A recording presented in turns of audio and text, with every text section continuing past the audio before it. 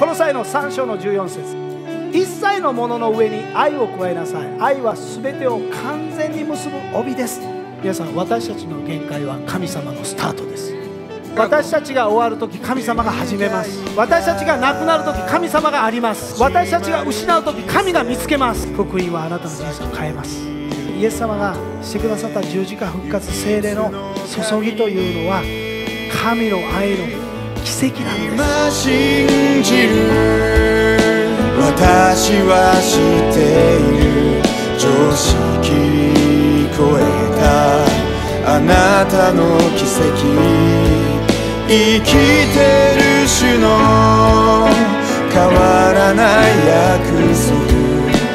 受け取り今奇跡を見る。